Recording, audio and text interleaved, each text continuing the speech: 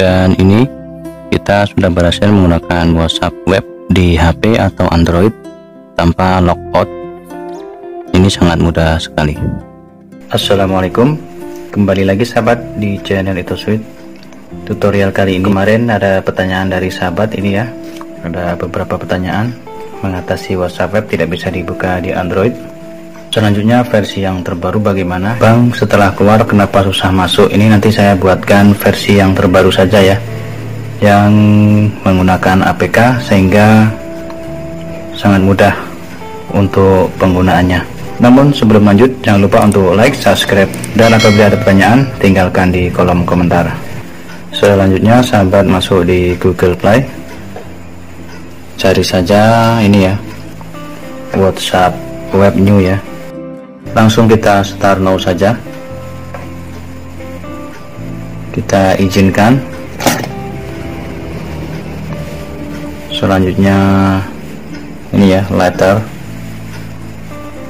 Kita buka web scan ini ya. Oke. okay.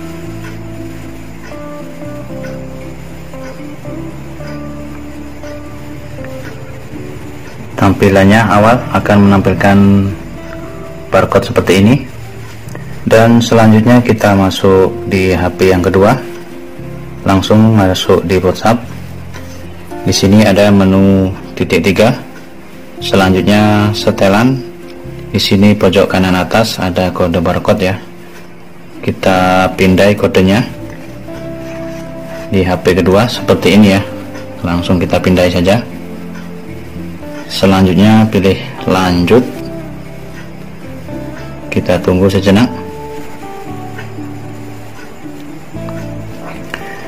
Dan ini kita sudah berhasil menggunakan WhatsApp web ya.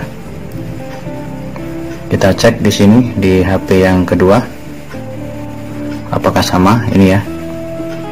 Ini sama sangat mudah sekali. Dan apabila kita keluar keluar ya. Ini untuk menjawab pertanyaan. Apabila kita buka saya ini ini saya keluar. Saya masuk lagi.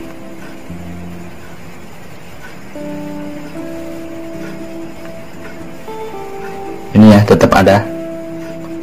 Jadi tidak logout sendiri seperti ini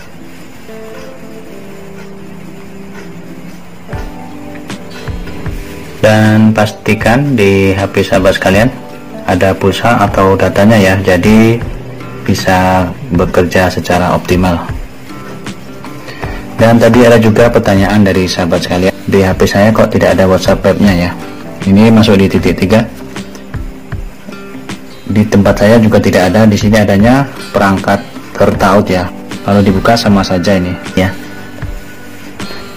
Dan selanjutnya bagaimana cara keluarnya bang sangat mudah sekali ya. Langsung masuk di titik tiga. Di sini ada perangkat tertaut. Tekan saja. Ini ya di bawah. Langsung tekan dan keluar saja.